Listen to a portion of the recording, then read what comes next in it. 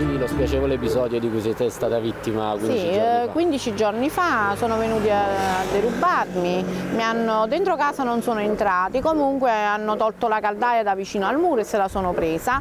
Eh, non è tanto per la caldaia, ma la cosa più grave è che mi hanno attirato i cani in un giardino che sta dietro la casa, chiusi nel cancelletto, e col cancelletto e una cagna è stata malmenata un'altra ha mangiato delle cose che gli hanno dato eh, tanto da portargli a lesionare le corde vocali. Infatti questo cane da 15 giorni non abbaia più e il veterinario ha presupposto che non abbaierà mai più.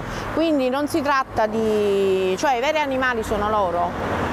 I veri animali sono i ladri a questo punto. Che in virtù di una serie di accadimenti per quanto riguarda la sicurezza della zona, eh, lei pensa che il comune sia, mm, diciamo, stia provvedendo oppure la zona è ancora abbandonata a se stessa? No, la zona è abbandonata, di sicurezza non c'è proprio niente. L'unica L'unica pattuglia che si vede questo, sulla litorale sono i carabinieri di Monte Cagnano, per il resto non si vede nessuno, siamo abbandonati. E poi c'è una macchina di Monte Cagnano che mi hanno spiegato che c'è una macchina che fa tutto il territorio.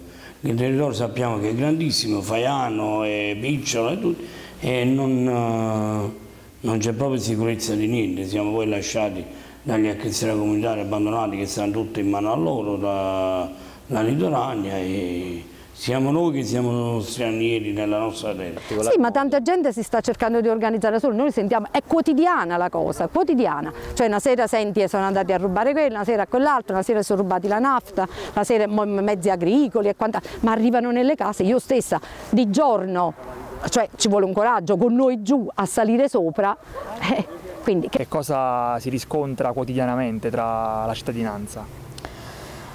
Il problema eh, urgente di questo momento è la criminalità, la, la cattiva sicurezza che abbiamo nelle nostre case, ci dobbiamo chiudere uh, dentro la sera appena fa un po' buio, ma anche di giorno, quindi è uno stato di uh, angoscia che stiamo vivendo e questo è un grosso problema che stiamo vivendo attualmente. I zingari non questi qua, quelli che stanno là, stanno nell'acqua, i bambini sono pieni di ginocchia, per cui vanno a scuola pure.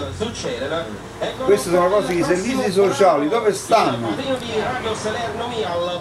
Dove stanno che vanno a prendere questi bambini, come vivono?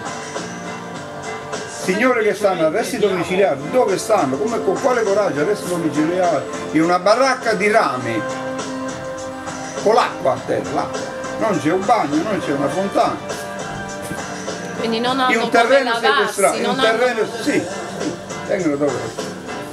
Dovete andare a vedere, dove sta l'hotel olimpica a salire su,